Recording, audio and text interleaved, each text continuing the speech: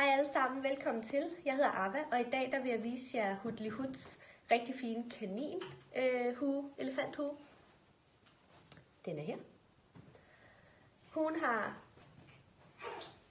kaninører, det er navnet. Går længere ned øh, om bagpå, øh, som giver en god beskyttelse i nakken. Og har også en god lang øh, front. Den er lavet i 100% øh, bomulds og derfor øh, super blød indeni og udvendig, faktisk samme materiale. Ja. Hun her hedder Dusty Rose, en rigtig fin øh, sart rosa, støvet rosa. Den er også i andre farver, og jeg har taget en navy med og vise jer også.